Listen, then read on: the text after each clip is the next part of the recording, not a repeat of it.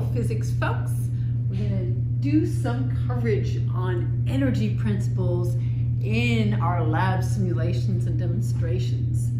And what we're going to do is just cover some basics on energy, just a quick recap, and look at some of the mechanics of energy transfers, conservation of energy principles that come into play with a lot of problem solving that you will see in many, many demonstrations and many, many um, standard physics problems.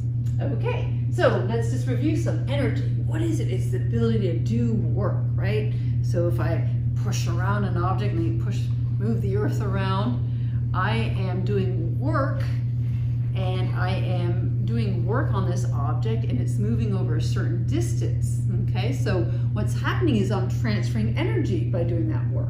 So energy is the ability to do work on an object. What is work? So quick review.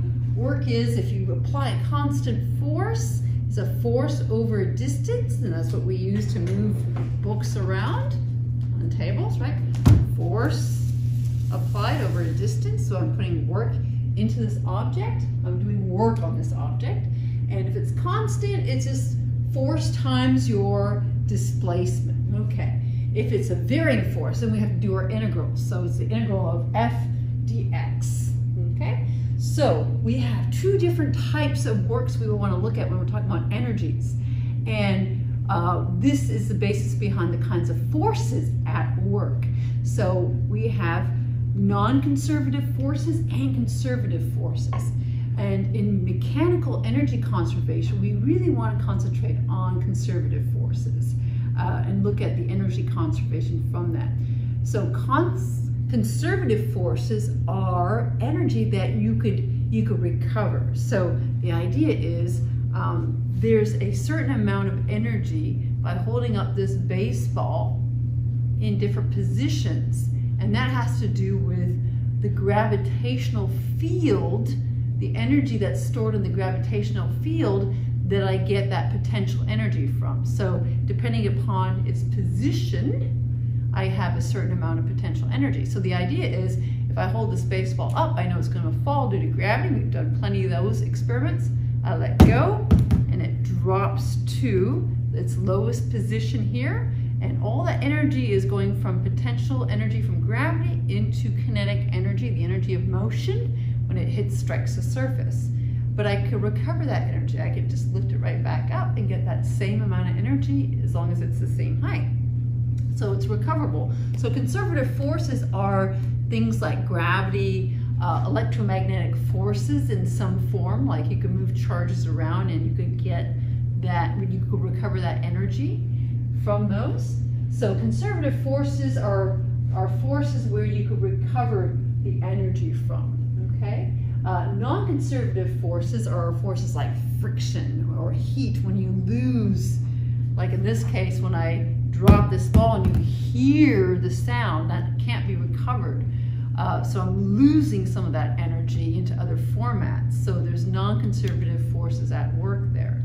So uh, friction is one of those key players in mechanics. So you always have to identify what forces are in the system that you're analyzing the energy transfers in and whether you can apply conservation of mechanical energy principles here. Now, uh, let's back up a little bit. There's many types of energies and they all transfer from one form to another. So we know that we have like, we have chemical energy, like the energy stored in batteries, chemical, nuclear. Uh, we have heat energy, we have sound energy, we have rest mass energy. Everything potentially has this E equals mc squared relation. Rest mass energy, E is short for energy. Uh, other types, the ones that we're really going to focus on are potential energy. And that's energy stored in the field of that force. So uh, we have a lot of energy stored in the gravitational field. And this will be the big one that we'll be looking at. And then we have the energy of motion called kinetic energy. Um, and of course you have electrical energy, magnetic energy, and the list goes on and on. Okay, so, so many. So when you look at things on an everyday basis, there's all kinds of energy transfers, right? I take a sip of my coffee. Good stuff. I get that chemical energy so that I can write on the board and convert that chemical energy into kinetic energy.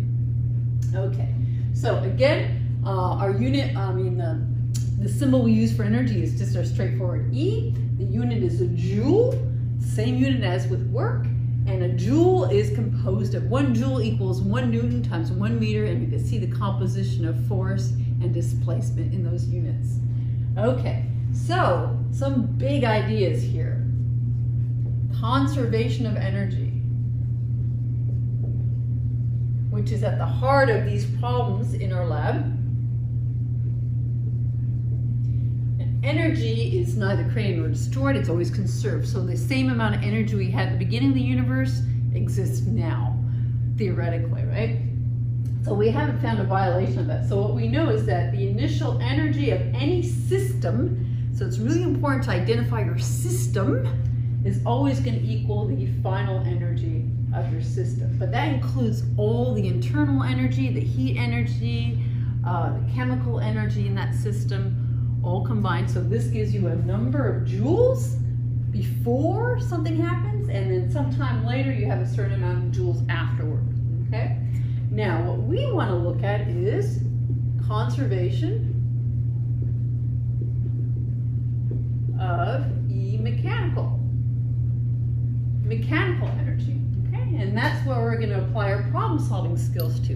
And we'll see that a lot of the problems that we did using Newton's second law can be done using conservation of energy principles. So conservation of mechanical energy is uh, the mechanical energy initially should equal the mechanical energy in the final stages. So what do we mean by mechanical energy? So when we're first studying energy and mechanics, we start with some few forms of energy. We have the energy of motion, which is kinetic.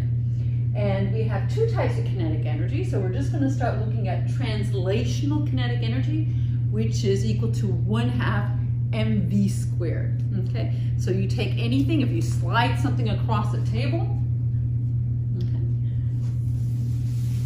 we have, it's moving, it has kinetic energy, it's translating, in this case, that's the motion, it's translational motion, it's 1 half mv squared.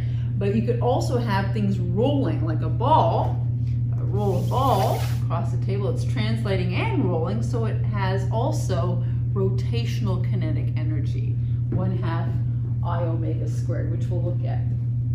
Okay, so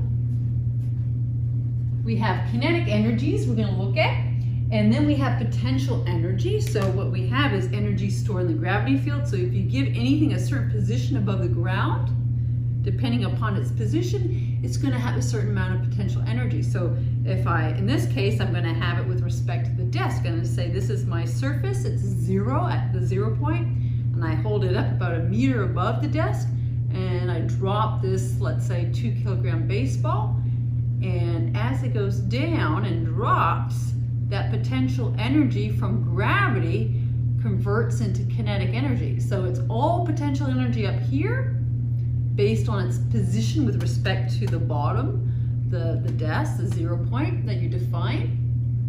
And all that potential energy converts into kinetic energy at the very bottom. So it becomes all kinetic energy just as it strikes the surface.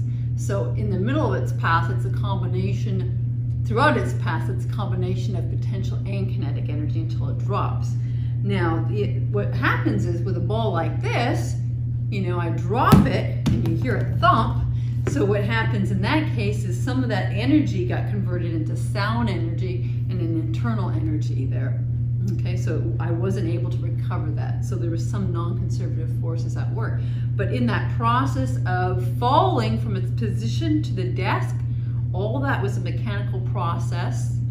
So all that potential energy got dumped into kinetic energy with just a little bit of leakage of air resistance, but we could ignore that. We could say that whole process is all conservative forces. Okay, it's afterwards when you hear the thump and the transfer of some of the other internal energies, uh, you no longer have a mechanical energy conservation process at work. Okay, this ball right here, this racquetball, will have a little bit better chances of going up to its initial height. So if I drop this, I lose just a little bit of energy to internal and sound energy there. But, um, so it's not all completely recovered, but the stage from dropping it from a meter height above the desk to the desk, all that we could analyze just using mechanical energy conservation. All potential energy to all kinetic energy the moment it strikes. Okay, so very important. So E mechanical energy conservation, what's going to come into play in our problem solving is this is all our kinetic plus potential before, initially, like with my ball drop at the very top, okay, before, just as I release that ball, that initial stage, initially should equal all, and I'll say K for short for kinetic, that's the symbol we typically use, K or KE, plus potential, U or PE, final. Okay. So in these values, you put all your kinetic energies at work and all your potential energies at work as well. So not only do we have potential energy from gravity, we also have the potential energy stored in springs. So we have a few spring demos for you as well. Okay, so something else to note, energy always likes to go to its lowest form. All things tend to the lowest form of energy. So what we have here is a lot of transferring at work and we're going to be working with this formula right here. And we're going to see that changes in kinetic energy, potential energy, should sum to zero based on this formula. So uh, all these changes will equal zero as long as there's no conservative forces at work. So this only holds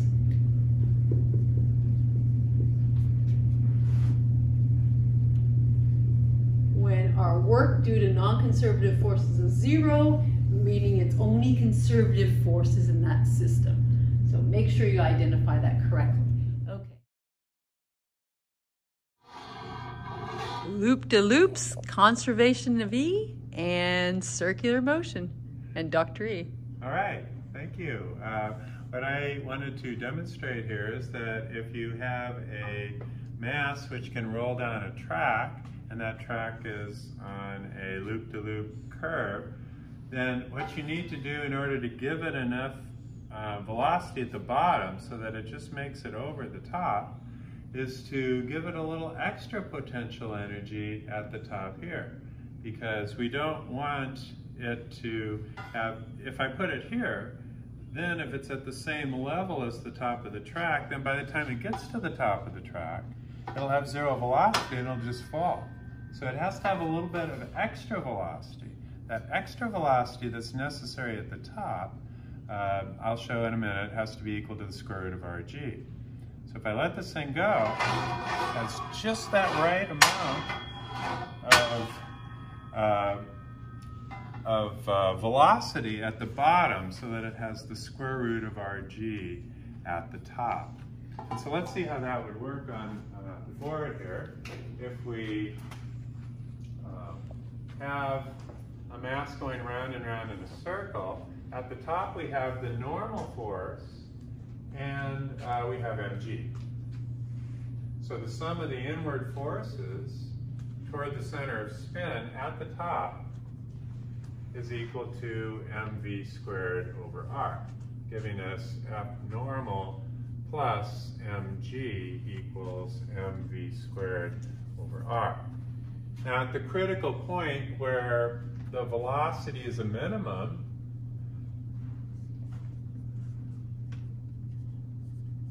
that happens uh, at the top when the normal force is equal to zero.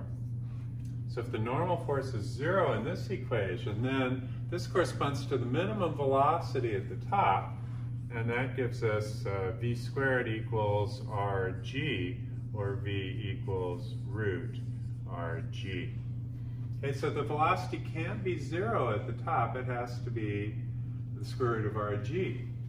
So if we started the ball here, then the potential would turn into kinetic, then back into potential, and the velocity would be zero when we got back up to that height. So we have to give it an extra amount of vertical height so that it has some velocity left over at the top of the path, uh, such that the velocity is equal to the square root of rg. Now at the bottom, the velocity that's necessary for it to just make it over the top, the bottom, can be gotten from the fact that 1 half mv bottom squared plus 0, call this our zero reference position for potential energy, equals 1 half mv top squared plus mg times 2r. And but v top we have from this equation is the square root of rg, so this becomes 1 half mv bottom squared equals half m times rg plus mg times uh, 2r. And if we multiply both sides through by 2, cancel out the m's, we get v bottom squared equals rg plus 4rg, or v bottom equals square root of 5rg. So that is the minimum velocity at the bottom of the path so that it just makes it over the top, but just at this point having a normal force that's equal to zero, where the normal force is not zero for points that are on either side of that top point. So technically it does leave the track, but it only leaves the track at one point. And so since it has zero time to leave the track, it doesn't leave the track.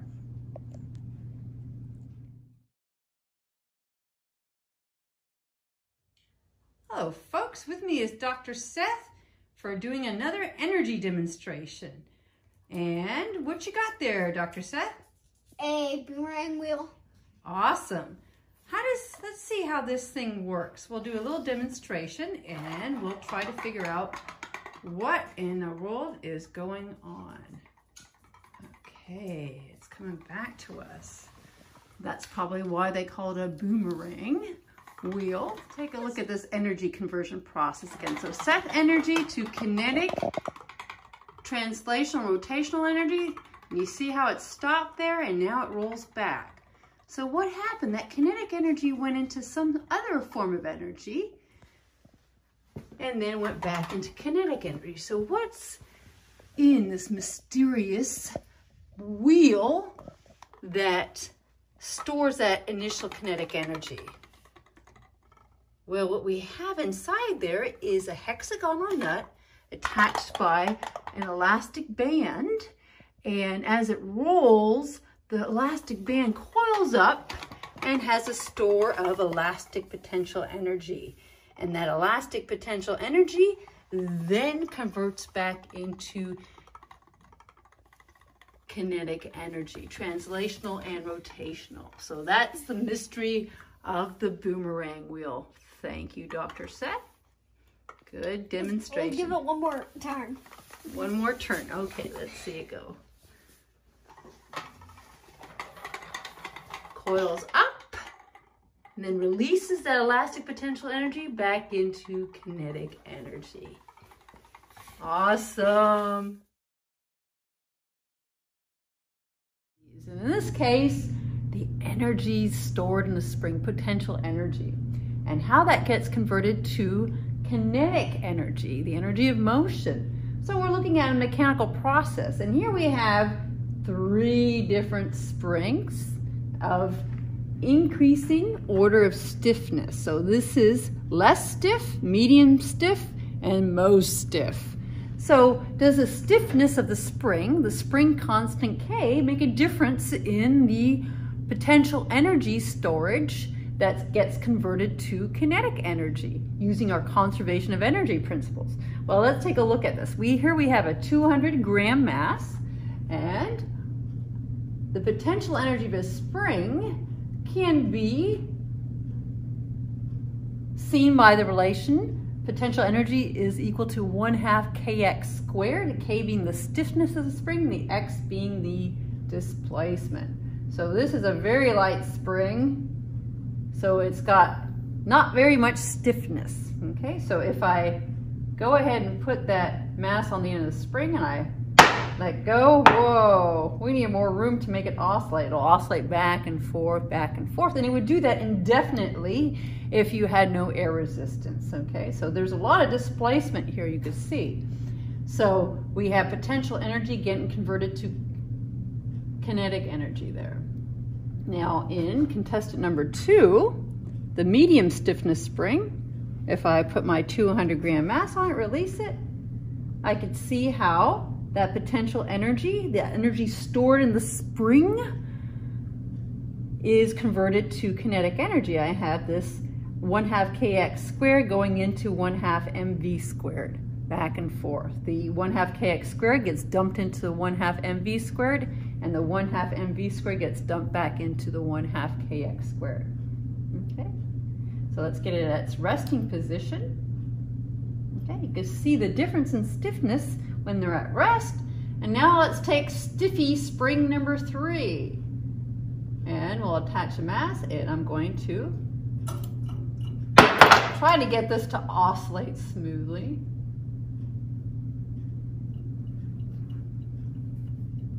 And here you have the 1 half kx squared going into 1 half mv squared, but you see it's very stiff. There's a lot of energy stored there. Okay, so the big idea here is to look at the relationship uh, between the stiffness of the spring K and the potential energy and how that gets dumped into the energy of motion, translational motion in this case, 1 half mv squared. So at rest, this displacement is going to be a lot less. So the least stiff spring has the most it will displace. The medium will be the medium amount of displacement and then Mr. Stiffy here is not very much displacement whatsoever. Folks, with me is the energetic Dr. Seth doing some energy science here. And what do we have here to demonstrate some conservation of energy principles today? The, Max, uh, the Maxwell's wheel. Awesome. Also known as Maxwell's yo-yo and a rotational pendulum. And this device here is a classic demonstration in showing conservation of mechanical energy. And what we'll see is we have a flywheel uh, mounted by this axle via these cords to this frame. And we can wind up the cords to a certain position as we have marked right here. Can you show us, Dr. Seth? We're going to wind it up and give it a potential energy from this height difference that is marked with respect to the bottom of the axle. And we're going to hold that position. what we know is we're going to have potential energy from gravity. And that potential energy from gravity, mgh, or mg delta y, the change in position, will be converted into kinetic energy, two types, rotational kinetic energy and translational kinetic energy. One half mv squared and the uh, rotational will be one half i omega squared. Okay, now watch carefully. We will see that some of the energy will leak into thermal energy. It's not a complete, perfect experiment in conservation of mechanical energy. But if we had perfect laboratory conditions, this would be yo-yoing indefinitely. Good job. So we can see potential energy, slowly stops, kinetic, goes back up, potential, kinetic, back up, potential, kinetic, back up. And you can see how it's slowly slowing down. And one thing you might notice is the acceleration of its descent is much slower than if it were not going to be suspended by these cords. And the question is, why is that? Well, the cords slow down its descent, by the rotation of the wheel. Some things to consider. Okay, so eventually we've leaked out all our energy due to non-conservative forces and our wheel comes to rest. Now there's other good experiments to do with Maxwell's wheel or topics to explore like the moment of inertia and angular mechanics, conservation of angular momentum because the cords um, produce a torque by applying a force off center with respect to the wheel. So you could look at analyzing the situation, applying Newton's laws, and do some angular mechanics to this famous demonstration experiment as well. All right, thank you, Seth. Can you also give us one last round?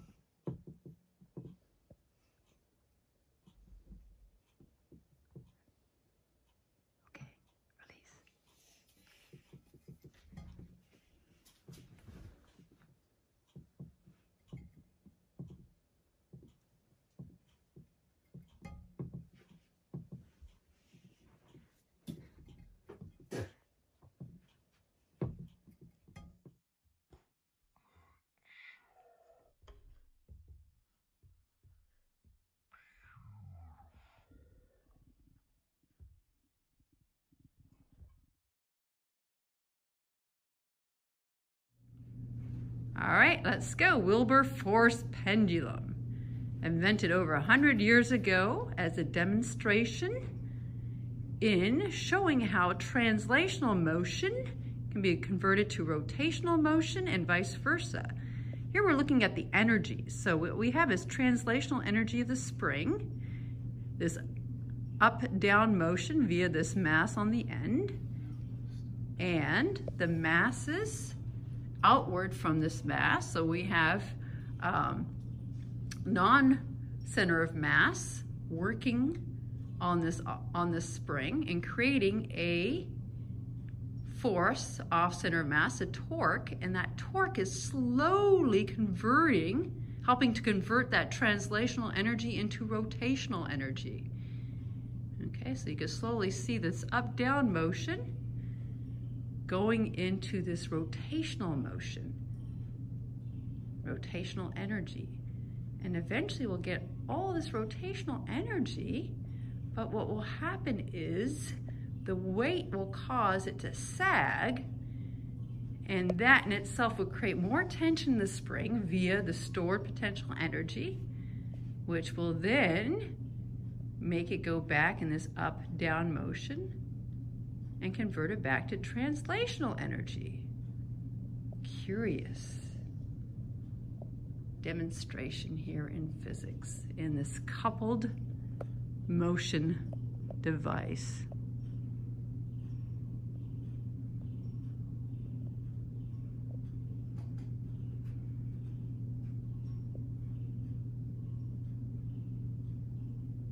Of course, if we did this in a vacuum, it would work perfectly because we'd have no energy leaks to the surrounding air.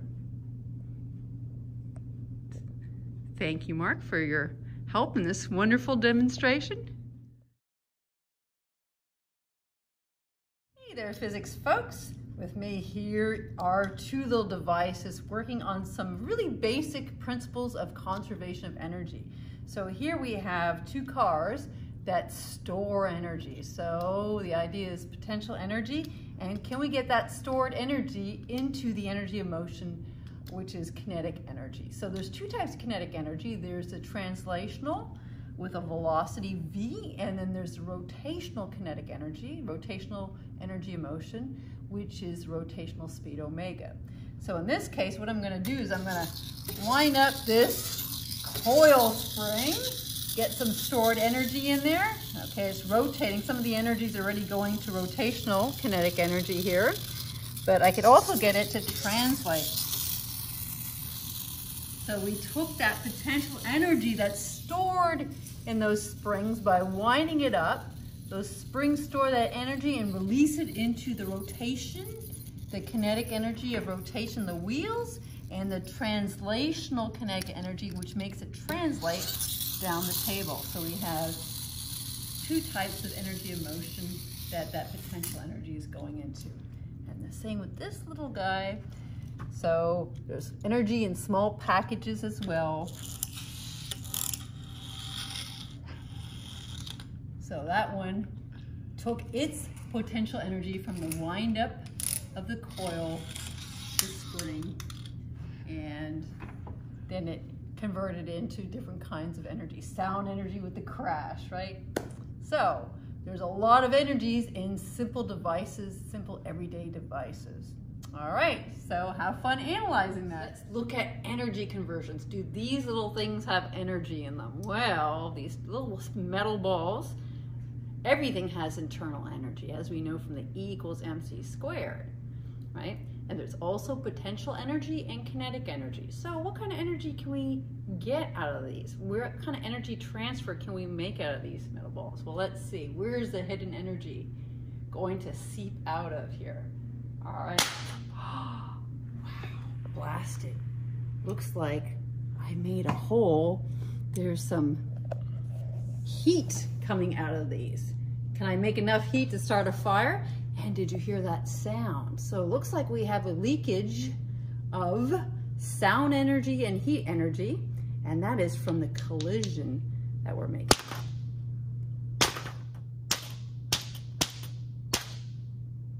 Whoa, smells like smoke in here. so there is energy here, and where is that energy coming from? Yeah, stored energy and I'm moving it. I'm taking that kinetic energy and I'm colliding these and that kinetic energy and internal energy are going ahead and converting into heat energy and sound energy. Hear that? There's a little... There we go. So, these are the magical energy balls and there's a lot of potential in using these. Are you ready? Yep. All right, let's go down the slippery energy slope. Oh.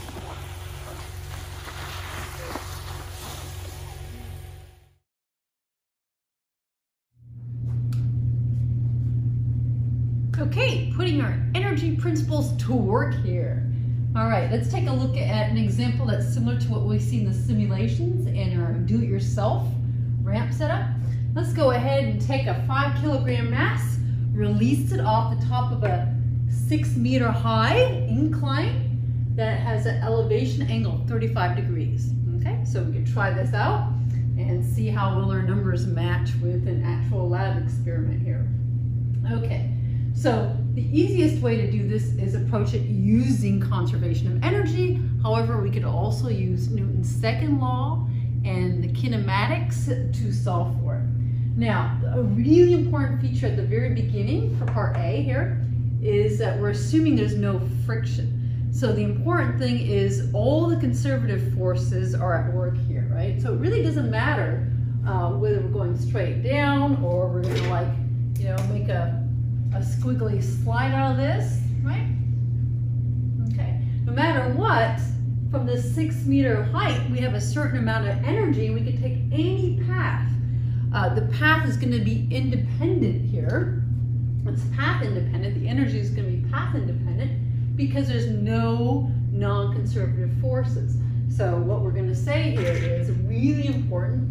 We're gonna say the work done by non-conservative forces is equal to zero and what that allows us to do is to say that um, our mechanical energy initially equals our mechanical energy in the final stages, okay? So what happens here is we apply, here's our diagram setup. And what we're gonna do is we're gonna apply conservation of not just energy, but in this case, a specific type of energy, conservation of E mechanical. Okay, which is this statement right here. Okay, so what are the mechanical energies at work here? So if we take a ramp and we slide something down, and this is really simple. This is not quite going to be the same value, but we could just take an eraser and we just slide it down the ramp. That's what we're looking at, okay? And uh, we want to identify the energies at work. So the energies here at work will be, the initial energies will be our initial kinetic energy, but the type of kinetic energy here is just the, the translational kinetic energy. We have no rotations. So we'll say K translational plus what potential energies involved? We have no springs yet. We could add some more springs on the bottom and some other complications here, which is typical of problems. Uh, we could factor those in, in in more advanced problems. But for starters, all we have is the energy stored in the gravitational field based on how high it is above its uh, the initial beginning point, what you say is the starting point. So um, my ground level here is I'm going to say this is my y initial position, which is 0, and this is my final position, which is 6. Okay? So I have potential energy stored just by having that height. So I'm going to say my gravitational potential energy initially should equal my translational kinetic energy plus my potential energy in the final state. So these are the only kinetic and potential energies I can identify in the problem. Now, alternatively, another way of saying this is all changes in kinetic energy, translational, plus all changes in my gravitational potential energy will equal zero. Okay. Okay, that's the idea. So what happens is, uh, this makes it a lot easier. So the beginning, it's not even moving, right? It's just stationary. It's all potential energy. This is zero. This right here is the only thing at work. So what I have here is UG, and gravitational potential energy will just be mg y initial in this case. And that will equal, now at the very bottom, so this is at the top, and this is at the bottom, I exhaust all my potential energy from the field, and this becomes zero, and it's all kinetic, just like this is all potential. So my potential energy at the top should equal my kinetic energy at the bottom, mv final squared. Okay? And I just use that to solve for my velocity. So my v final simply will be um, mg 2mg y initial over m, my m's cancel, and v final, is square root of that, because that's squared. v final will just be the square root of 2g times my 2g, which is 9.8, times 6. And your number that you get out of all this, and without using a calculator here, I'm going to cheat and I'm going to give the answer, which I don't have written down. So my answer will be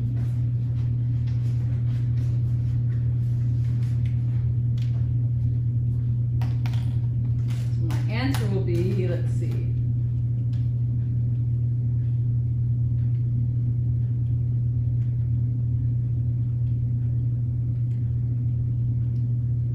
Ten point eight four meters per second.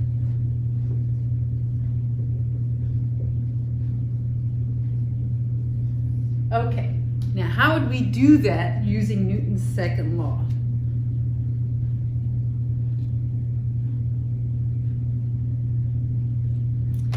Okay, so you can see this is the easiest way to do this, right?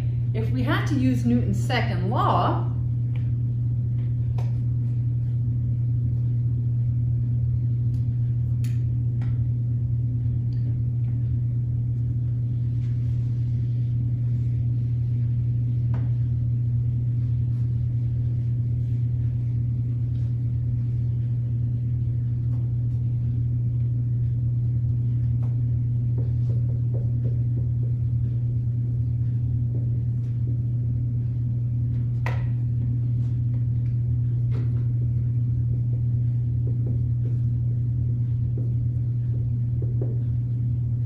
apply Newton's second law, you'd have to say the sum of all your horizontal forces equals mass acceleration horizontally, and the sum of all your vertical forces equals mass acceleration of that body. Okay, so the, the complex part here would be setting up the force diagram. So you'd have to do a free body diagram. So if I did that, I would show my angle. Right here I would have my weight force coming down and I would break that down into components if I make my alignment so it's y, x, okay. So if I say positive up, positive to the right, and I align my y-axis with my normal force, I would have a normal force up this way. I would have a weight force pulling down this way. And y component of weight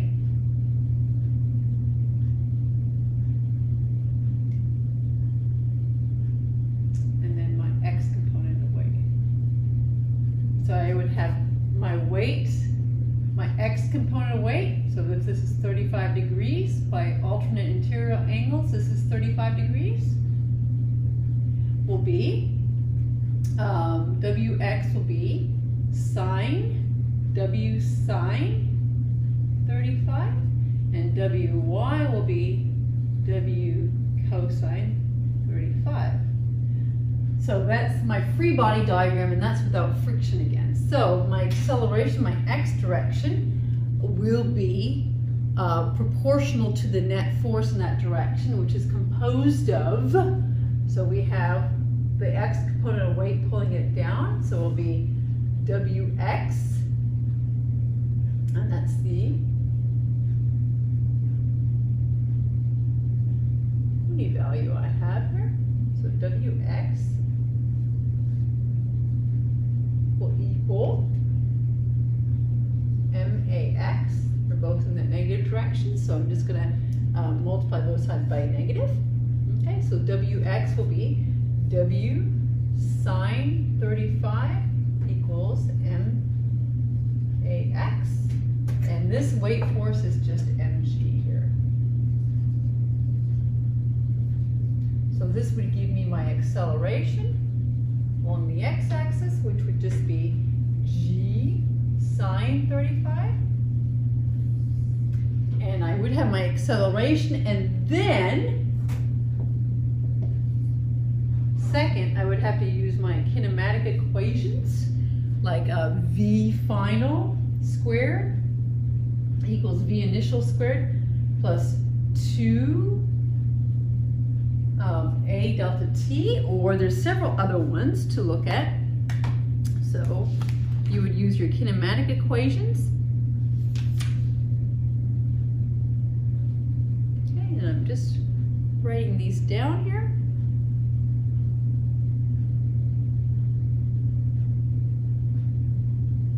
Okay, so second you use your kinematics.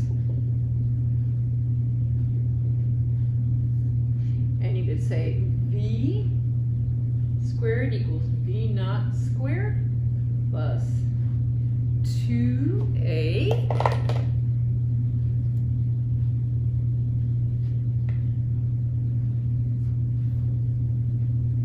delta x. Now the tricky part is, is your delta x. You're going to have to do some trig to do that. This would be your delta x right here. So you would find this. And then next you would go ahead and plug in your acceleration here, and then you would solve for your v. Okay, so you would need to know uh, the length of the ramp, and then you would solve that using force analysis or in the second law. Okay, what's the final velocity if you have friction? So how do we do this um, in our case?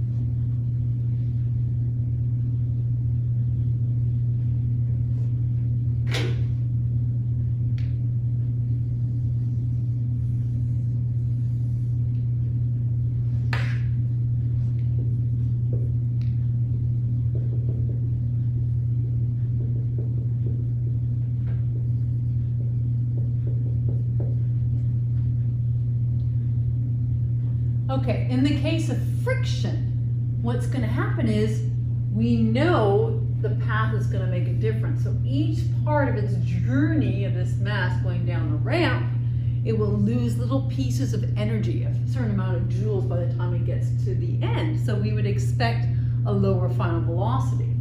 So we would still use your E mechanical initially equals E mechanical final with the work done to non-conservative forces not equal to zero. Okay, so what I'm going to have here is I'm going to have all my changes in kinetic energy plus all my changes in potential energy is not going to equal zero. Instead, what that's going to equal is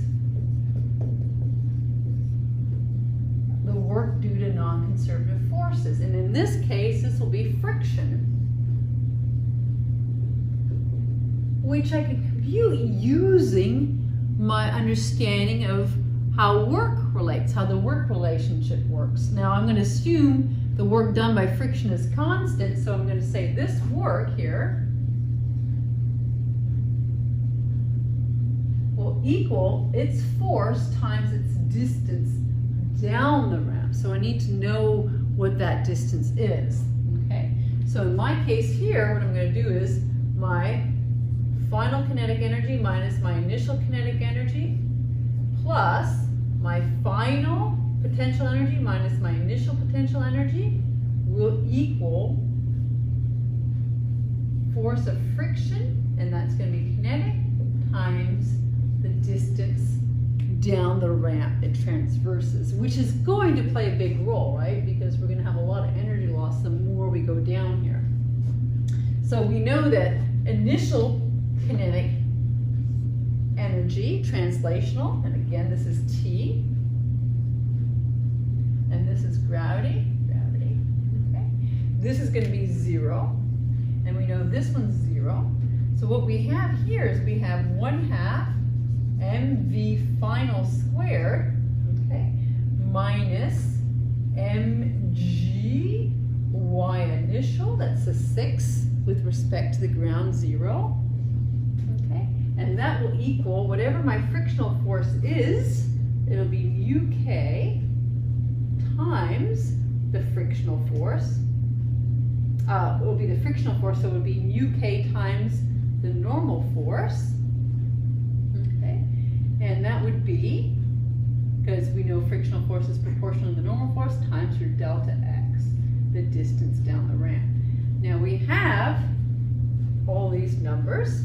Okay, we want to solve for this again. Okay, so what we have to do is we have to do a little bit of, we need to figure out what our normal force is using our force analysis just a little bit. So we would go here and we'd say, okay, we got force going down, weight force, normal force up, and the normal force will be equivalent to the y component of force, weight force. So in this case, at an angle of 35 degrees, the y component of weight force will be W, mg, um, in this case, and that would be, here's your angle, 35 degrees, cosine of your 35 degrees theta. Okay, that's what that will be. So that will be weight times your cosine theta. You plug that value in, in this case 35, and then here we need to know what our delta x is, and your delta x over here, uh, you could say, if you have your um, opposite over your, this is a right angle, if you have your opposite over your hypotenuse, that would give you your sine uh, 35 value. So we know that the sine of 35 degrees is equal to uh, over height, so that would be 6 over delta x, or we could just say x in this case. And so we know that our x value will be 6 over sine 35. We plug that value in, and voila, you have enough to solve for your final velocity. And something to experiment with is you could, you know, see how the angle changes the dynamics and changes the final velocity, and also see how changing the mass will affect, if anything, that final velocity.